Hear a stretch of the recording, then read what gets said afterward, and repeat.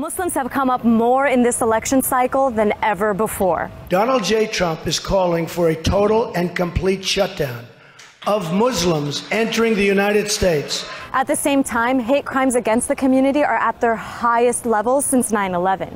But here's something you're not hearing the Muslim vote is actually pretty powerful. In fact, it could swing the election.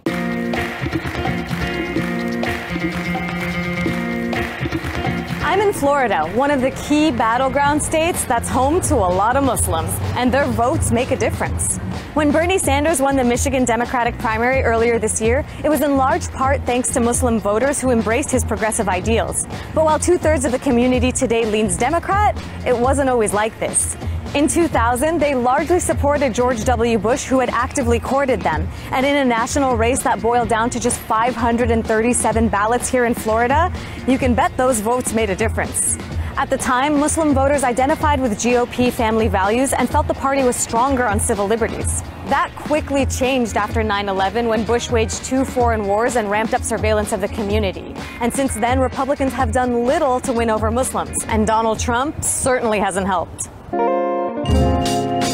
The Muslim community definitely feels a sense of urgency around Donald Trump's presidential election bid. They're definitely not voting for him. They're not planning on voting for him. And if anything, they feel a sense of urgency to organize, to reach out, to register the community to vote. Laila Abdelaziz is a community organizer who works to register Muslim voters in Tampa. They feel that their civil rights are directly under attack. So I think, um, you know, Muslims really really understand that a lot is at stake for them and for the future of their, their lives and their children in this country. How does the community feel about Hillary Clinton? You know, the community is very concerned about her messaging that commits to putting more military presence in the Middle East. And I think they're also very concerned about the way that she only talks, or she first and foremost talks about Muslim American voters as potential threats before talking about them as citizens. But despite those concerns, most of the Muslims that I spoke to here appeared to be voting for Hillary. Even though she is not my favorite person um, on all issues, she is the one that's actually more responsive to the people. Ashley, who are you voting for this election? Hillary Clinton. Why did Hillary earn your vote? Because she realizes that Muslims are people and we're not terrorists. I'm uh, looking forward to vote for Hillary Clinton. So, what issues are most important to Muslim voters?